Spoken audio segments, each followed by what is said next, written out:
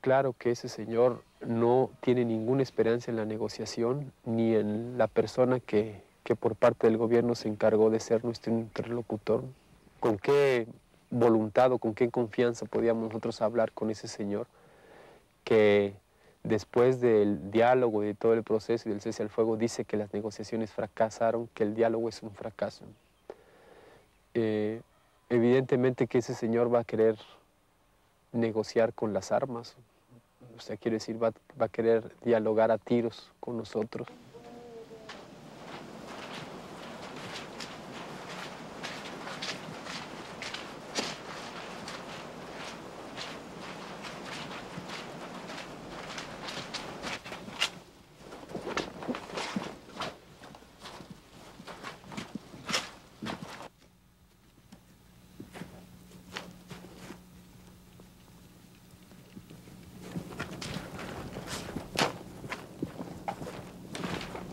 Oh no.